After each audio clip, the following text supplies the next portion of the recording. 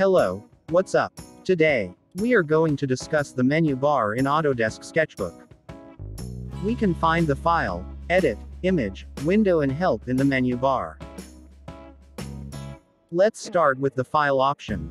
Under the File option, you can find the New option. This option will create new working area or canvas for your next project. Next is the new Flipbook. This allows you to create simple animation using the Autodesk Sketchbook. Click Open to open an existing project or image, and with the use of Open Recent option, you will able to see your previous projects. Under the File menu, you can also find the Save, Save as option and you can save your work. You can also add an existing image in your file with the Add Image option.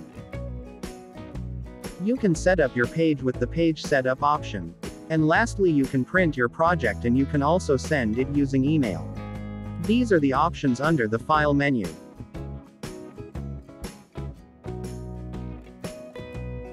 Next is the Edit menu. As you can see you can find some shortcuts and editing options under this menu. Aside from this shortcuts, you can also find the Preferences option under the Edit menu. After clicking this option, a pop-up box will appear, and in here you can now edit your preferred settings. You can edit your general settings, your preferred canvas size and the other, just explore and discover different stuff under the Preferences option.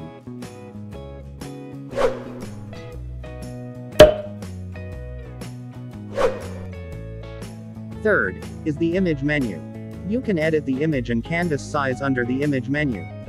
After clicking the image size, a pop-up box will appear, and in here you can now edit the document size.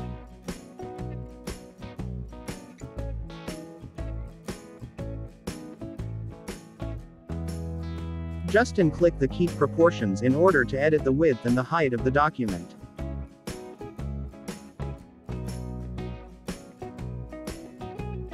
Under the Image menu, you can also rotate the image, counterclockwise, clockwise, you can also flip vertically your image, mirror layer and you can use the symmetry option.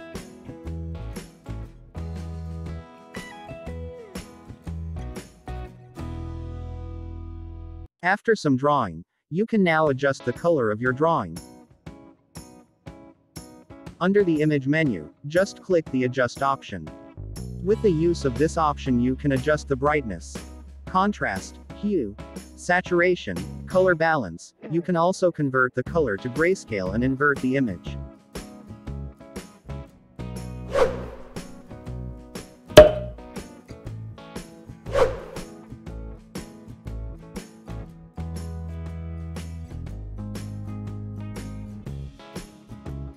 Next is the window menu.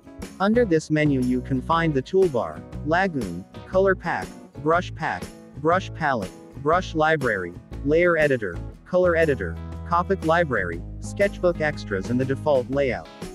This menu allows you to control the components or shortcut bars that may appear on your screen or working area. You can hide this shortcut bars by clicking your desired option. Now in order to show again your desired shortcut bars, just click again the option. Just click the default layout in order to show the original layout of the Autodesk Sketchbook window. Last, is the Help menu. You can find the Sketchbook Help, Quick Tour, Sketchbook Blog, check for updates and about Sketchbook options under this menu. This menu gives you an answer and help for some of your questions about Autodesk Sketchbook. You can find also some tutorials and inspirations for your next project under this menu.